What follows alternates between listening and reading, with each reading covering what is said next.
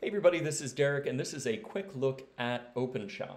OpenShot is a video editor available for Linux, Mac, uh, OS, and Windows. It is very impressive to me because it has a very user-friendly interface, better than many uh, open source or freeware video editors that I've seen online. It is pretty powerful, uh, so I wanted to take a quick minute and show you what it looked like to use. So here's the OpenShot video editor. It doesn't look all that dissimilar from iMovie movie if you've used that tool before. Uh, you have a project files pane where you can click the plus sign and import files. I've already done, uh, done that and imported a file of an interview that I had recently.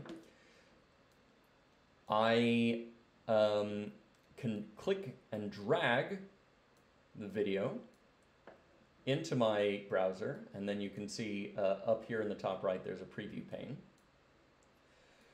If I want to do basic functions like uh, cutting up the video track, I can do that by using the slice effect. That basically makes a break in the video in between the two points. And so I can separate them out or I can delete this one piece. You can also right click on the track at any point and then do things like um, fades or uh, increase the time of an individual clip or the audio. You can even separate the audio into another channel, which if you've edited video before is pretty convenient because that means that you can have audio from an interview playing and, and show some B-roll footage over it fairly easily. Um, the other thing that I will show is that it has a decent library of effects. So you can transition. Uh, really, the only one that you probably need to use is the, the fade or the wipe. Um, all these other ones are kind of silly, but you know, they're there if you want them. Um, and there are effects, so you can uh, pixelate. You can also create uh, titles. So these are text um,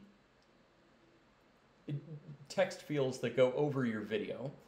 Um, and you can customize the color, the text, the font, whatnot, and change what it says.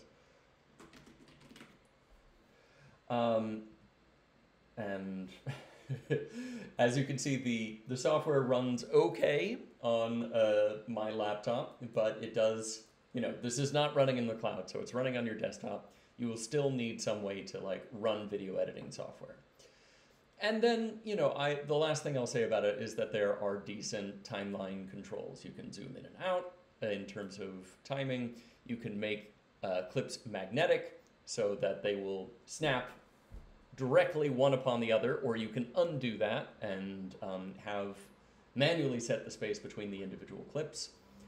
Um, it's a pretty powerful tool. And then the output, just very briefly, you can export the video with a ton of different profiles. So you can select um, whatever profiles you want here, or you can choose a bunch of different options. Um, here's the one that I was thinking of. You can export in 4K if that's your, your pleasure, or get all the way down to, um, oh gosh, uh, yeah, uh, like really low resolution uh, NS NTSC, just if that finds if that floats your boat.